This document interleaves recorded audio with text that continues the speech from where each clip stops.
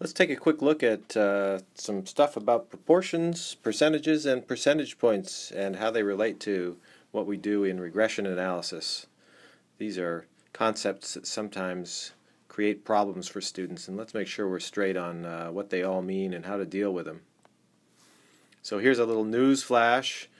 Uh, suppose we find that the unemployment rate in some jurisdiction has increased from 10% to 15%. So what could we say about that?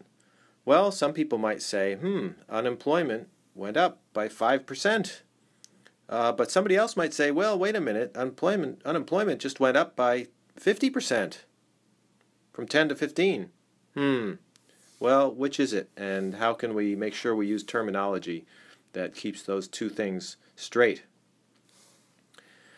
Uh, well, let's review quickly what the unemployment rate is. And the unemployment rate is defined as the proportion of the labor force that's out of work and seeking a job. So, as an example, you could end up with a 10% unemployment rate, U, uh, if we had 10,000 people who were unemployed and there were a total of 100,000 people in the labor force. And again, the labor force is people who are working or actively looking for work. So 10,000 over 100,000 is 0.1, and 0.1, of course, translates in percent terms to 10%. And then we're just uh, proposing that maybe this increased up to 0.15 or 15%. Maybe we're up to 15,000 people unemployed out of the 100,000 in the labor force. Uh, now, we need to keep track of the fact that there's a conceptual distinction to be made between the change in the proportion unemployed and the proportional change in the unemployment rate and hence the confusion in our headlines. The change in the proportion unemployed is just the, the change in the actual unemployment rate as measured either in proportions or percents, and that would be 0.15 minus 0.10, or 15% minus 10%. That's the change in the level of the unemployment rate, and that's 5 percentage points. And I want to stress that the best way to put it is in terms of percentage points. That's a change in the proportion. Now, the proportional change is, of course, something very different because here we've gone from 10 to 15% working on a base of originally 10%. So, uh, as you might have learned somewhere in uh, elementary school, probably, to find the percentage change or the proportional change, we're going to take the actual change, the after minus the before, 15% minus 10%, divide it by the base that we started at, 10%. So that's going to give us 5% over 10%, or 0.05 over 0.10, which of course comes out to be 0.5 or 50%. So it is true that the unemployment rate has increased by 50%, but of course that was only 5 percentage points. Please try to keep this distinction clear because it's easy to speak loosely and then it's going to lead to confusion. And it can be particularly confusing in the context of regression analysis. So let's take a quick look at an application to these ideas to the regression context. Uh, suppose you run a regression using county data and you're going to try to predict the poverty rate using the local unemployment rate. And we might expect that poverty would go up and down as uh, unemployment went up and down. And let's say you run that regression with uh, the proportion poor, and that's from 0 to 1. The proportion poor in county I is equal to, uh, when you run the regression, 0.11 plus 0.14 times the proportion unemployed. And again, these proportions, the, the p variables, we're thinking as uh, proportions that lie somewhere on the, the range 0 to 1. So again, uh, the proportion unemployed 0.1 would be a 10% unemployment rate. Now, the interpretation of this slope is that an increase of one unit in the proportion unemployed is associated with an increase of, uh, sorry, uh, 0.14, that's the slope, in the proportion poor.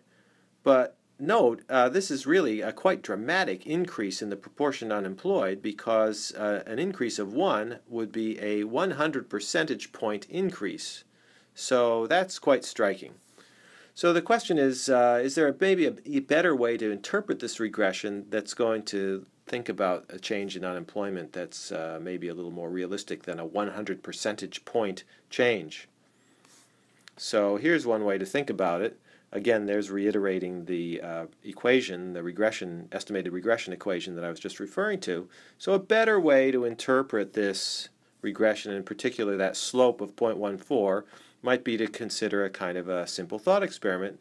An increase of 10 percentage points, say unemployment rate going from 10% up to 20% across counties, an increase of 10 percentage points in the unemployment rate here is associated with an increase uh, in the proportion poor of 0.14 times that change in the unemployment proportion. So that was 0.10 if it's 10 percentage points, and that comes out to be 0.014 or 1.4 percentage points in the poverty rate. So again, an increase of 10 percentage points in the unemployment rate associated with an increase of 1.4 percentage points in the predicted poverty rate in this regression.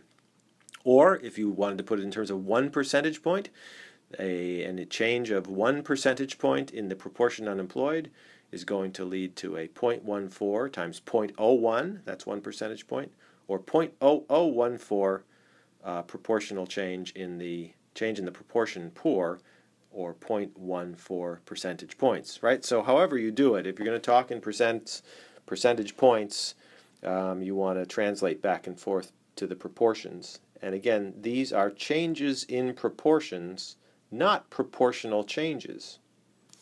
Now, proportional changes in regression can be captured, and the nicest way to do that is to use log transformed variables. And uh, we have a separate video talking about that, but just to reiterate really quickly how this works, uh, recall that the change in the natural log of any variable, such as y, is approximately equal to the change in y divided by y, and that's due to the derivative of the natural log being 1 over y, and consequently we can interpret that as essentially uh, the proportional change in y. So, if you want to estimate a regression that has coefficients that will capture the effects of proportional changes in the variables, it's the, the best thing to do is to log transform those variables first. So for example, suppose you ran this regression where we estimate the relationship between the natural log of a quantity variable and the natural log of a price variable, and we find that the estimated equation is the uh, predicted natural log of the quantity is equal to 1.7 minus 2.2 times the natural log of the price. Well, this implies, of course, that the the slope there of negative 2.2 is the rise over the run. So the change in the log of the price for a change in, and I have a little mistake there, the log of change in the log of Q for a change in the log of price is negative 2.2. Or to interpret this in proportional changes, a 1% change in price, increase in price, is associated with a 2.2% reduction in the predicted quantity. Um, and that's, of course, what we would call a, an elasticity. So if you want to learn more about those interpretations, uh, see our video Interpreting Log Specifications.